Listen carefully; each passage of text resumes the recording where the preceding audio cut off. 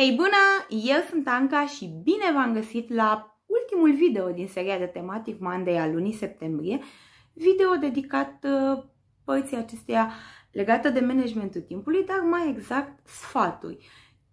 Ce sfaturi am eu pentru voi pentru a avea un management al timpului mai eficient și să rămâneți așa cumva motivați și practic sunt sfaturile pe care le folosesc și pentru mine, că așa reușesc să rămân uh, motivată, echilibrată și să-mi îndeplinesc toate tascurile.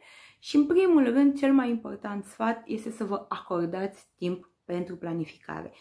Luați-vă din timpul vostru câteva minute, jumătate de oră, cum doriți, cum aveți disponibil, să vă planificați în ansamblu luna ce urmează, săptămâna ce urmează, ziua următoare. Vă va ajuta foarte mult să aveți o imagine de ansamblu a ceea ce aveți de făcut, pentru că așa o să evitați stresul, o să evitați supraaglomerarea și o să aveți mai mult timp liber. La un moment dat veți descoperi lucrurile acestea, că o să aveți mai mult timp liber față de cât credeți că aveți. Și în același timp, desigur, cel mai important, faceți ceva pentru a vă atinge obiectivele și pentru a ajunge acolo unde vă doriți, fie că e vorba de job, fie că e vorba de uh, partea personală. Desigur, un alt sfat ar fi să rămâneți flexibili vă organizați, vă planificați totul, dar uh, fiți flexibili pentru anumite lucruri ce se pot schimba. Nu ies cum vreți voi, nu ies când vreți voi, ok, nu este capăt de țară, se pot replanifica, se pot schimba, se pot face în alt mod, în altă zi, dar rezultatul să fie același sau poate unul chiar mai bun. Iarăși ce mai fac eu și vă recomand să faceți acest lucru, să profitați de timpii de așteptare. Eu folosesc foarte mult mijlocul de transport în comun, așa că am niște timp din aceștia de așteptare pe care îi folosesc în diverse lucruri. Nu știu, ori mai creez un mesaj pentru un viitor video pe care știu că vreau să îl postez, um, ori îmi verific e mail și dacă se poate chiar răspund la unul, două mail-uri, um, ori îmi uh, verific efectiv planificarea pentru ziua respectivă, depinde când este timpul de așteptare, dar de regulă cam asta fac dimineața, după amiaza în autobuz îmi verific repede uh, partea aceasta de e-mail, de e-mail, de planificare. Iarăși, nu știu, stați în trafic cu orele, că este aglomerat sau uh, efectiv așteptați la coadă, la ceva, să plătiți o factură sau ceva și este aglomerat. Profitați la maxim de acest timp de așteptare pentru că altfel ei vor fi doar timpi morți și v-am spus, nu e nevoie să faceți ceva foarte wow și foarte mult în acel uh, timp. Efectiv, doar dacă vă verificați uh, ce aveți de făcut în ziua respectivă și deja ați profitat de un timp uh, care el ar fi fost mort. Un alt sfat ar fi să alegeți canalul de comunicare cel mai eficient. Știm de regulă că cel mai mult ne ocupă timpul partea aceasta de comunicare. Fie că e pe la telefon, fie că e WhatsApp. Sunt pe cineva cu o chestie anume și te mai întinzi la vorbă sau îi dai un mesaj pe WhatsApp. De regulă pe partea aceasta de WhatsApp, Messenger, acolo ocupă cel mai mult timp. Aici aveți foarte mare atenție la partea de cum, cum le gestionați, pentru că sunt timp ce pot, ce pot fi pierduți la un, la un anumit punct. Un alt sfat ar fi să vă grupați cumva acele sarcini care sunt, sunt similare, pentru că așa le veți da un timp comun și o să evitați să vă întrerupeți din a face ceva pentru a face lucrul respectiv. Ar fi, de exemplu, nu știu, răspunsul la e mail Evitați să răspundeți la e-mail fix în momentul în care îl primiți, pentru că nu e capăt de țară dacă n-ați răspuns atunci, sau să răspundeți la telefon fix în momentul în care vă sună cineva. Nu, lăsați-le pentru mai încolo. Eu, de exemplu, îmi stabilesc cumva în decursul zilei 2 sau 3 timpi de răspuns la e-mail, depinde, na, cum știu că este perioada. Dimineața îmi verific mail-ul și răspund la ce este cazul.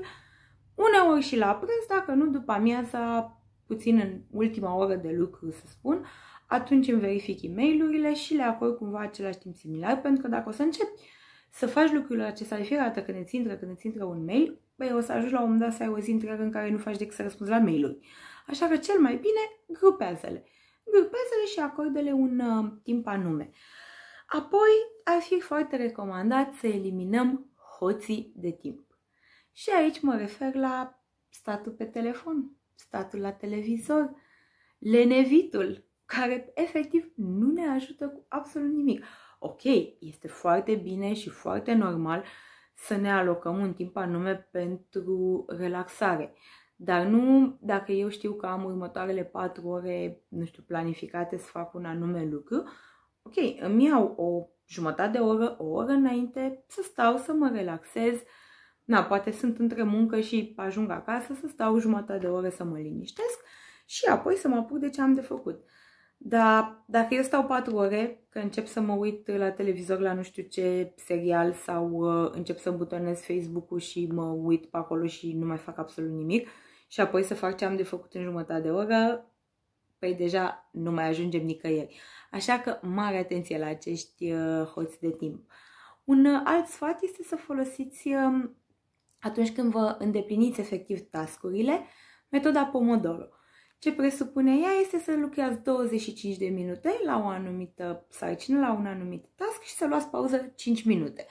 Sau, cum mai fac eu de obicei, 50 de minute cu 10 minute. Este cumva același lucru, puteți să faceți ori 25 de minute cu 5 ori 50 cu 10 în funcție de ce aveți de făcut, ce task aveți de făcut și cumva, mai ales dacă sunteți în partea de școală, deja vă dați seama din start că este efectiv cumva programul pe care îl aveți uh, pe o oră atunci când mergeți la școală. 50 de minute de ore de curs cu 10 minute pauză.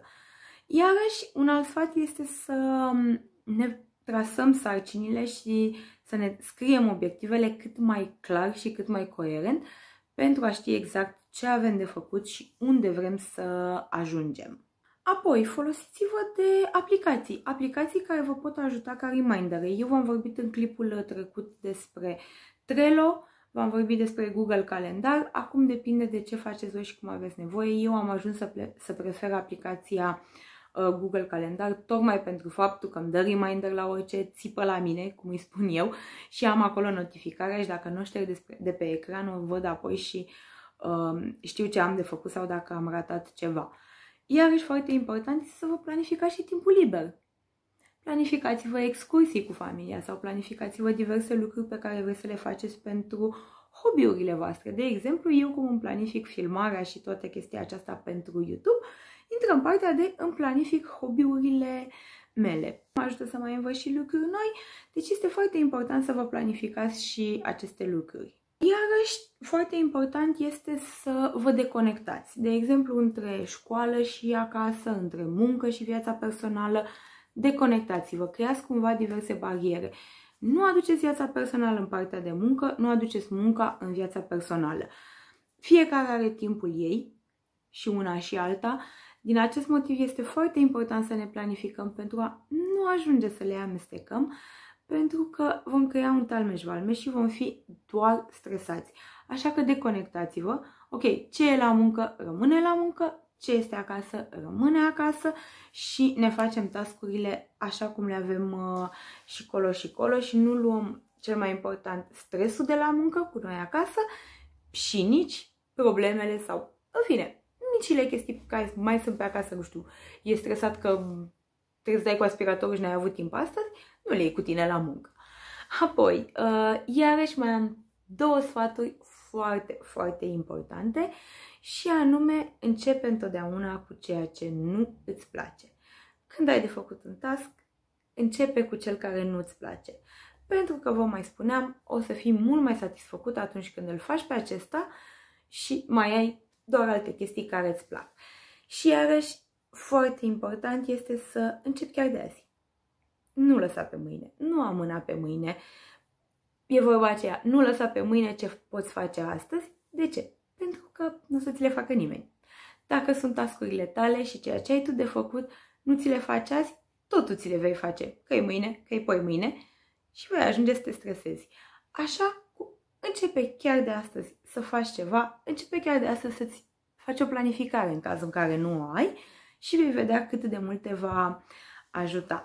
Și iarăși este foarte important să fim atenți la partea aceasta de planificare și să avem cumva o planificare pentru a avea o acea imagine de ansamblu a ceea ce vrem să facem, ceea ce ne dorim, pentru a rămâne motivați.